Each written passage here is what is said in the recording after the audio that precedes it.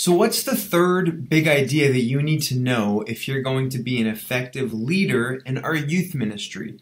Well, this is the part where we talk about one of our most important values called partner with parents. Unless you're planning on spending 24 7 with your student, I think it would be a pretty good idea for you to partner with parents. Here's the truth as youth leaders, you and I only get temporary influence in the lives of our students. But by default, parents get lifelong influence. And that is exactly why we think it's important to partner with parents as small group leaders. Like I said, this is our third big idea every one of our leaders needs to know. And so, what we want to do is we want to talk about three ways you can focus on partnering with parents starting with the first thing. The first thing that you can do is this. When you partner with parents, that means you, number one, cue the parent. Now, when we say cue the parent, let me explain to you exactly what we mean. When you cue the parent, you give the parent just the right information at just the right time so they can make a move to do what they would otherwise not be able to do.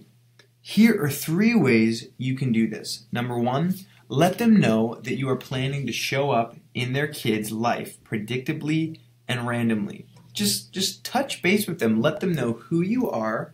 Let them know what your name is. Tell them a little bit about your story, what you're all about, and the fact that you have a desire to be a person who shows up consistently in the life of their student. Let them know that your goal is to help their child grow in authentic faith. Let them know that you want to be a positive role model for them, showing them what it looks like to follow Jesus and to be one of his disciples. Let them know that you want to help them win as a parent. Let them know you want to have a relationship with them, that you want to be partnering with them and helping in any way that you can. And finally, this is a really good one. Let them know what you're talking about in small group.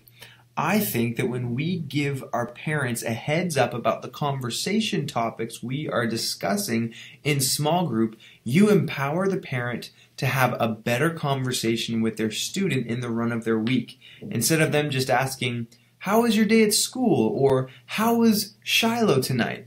Now they already know what was being talked about, so they can ask a more specific and pointed question that could have the potential to lead into a much more fulfilling and meaningful conversation. So, the first thing you want to do in partnering with parents is to cue the parent. The second thing that we want you to do is we want you to honor the parent. Here's the fact kids struggle with authority figures. It's no different with their parents. But that means for us as leaders in their lives, it's our job to protect the relationship between parent and child. Now, listen, you may get tempted to use the week to week battles your students are going through with their parents as a way to gain relational points. But here's what I want to tell you don't do it. Your job as a small group leader is to help your students honor their parents. After all, it's true that the Bible commands that. And part of our job is to help our students learn how to apply biblical truth, how, how to apply and live out scripture. Always assume that every story you hear from your student has another side and another perspective. In the book that you read, one of um, the writers talks about a story of a teacher friend of his who often would get complaints from parents about things that they heard happen in class. And one of the things this teacher started to do with his parents of the students that he taught is he would he would make an agreement with them. He would say, "Hey, let's make a deal.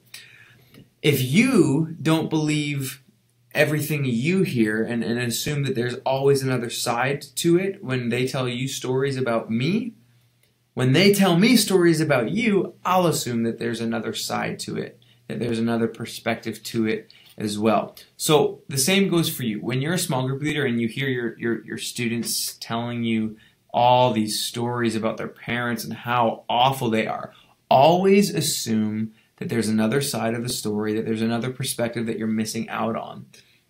The other thing that I always want you to remember is this if you're not on the parent side, ultimately you're not on the kid's side.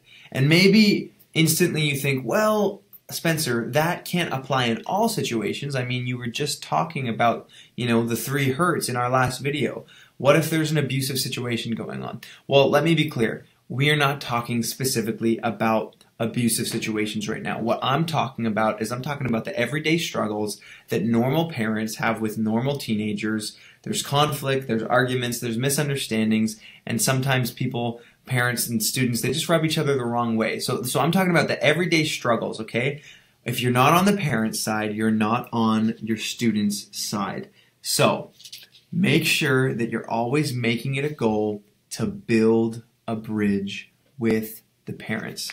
Last but not least, the third thing you can do to help partner with parents is reinforce the family. Although parents spend approximately 3,000 hours a year of their time with their student, we have to realize, and this is important, that it's not always the same quality of time as the hours we are getting to spend with their student. What do I mean by that? Well, think about the run of a week for the average parent with a couple of kids.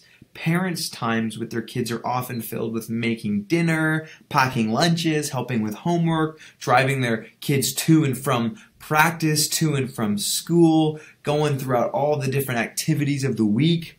Meanwhile, over here as youth leaders, the hours we spend with their students are potentially filled with meaningful conversations, teachable moments, bonding experiences, we get to share laughs. We get to go out and eat food together, have ice cream, have lots of fun, go out on overnight experiences to camp and to conferences.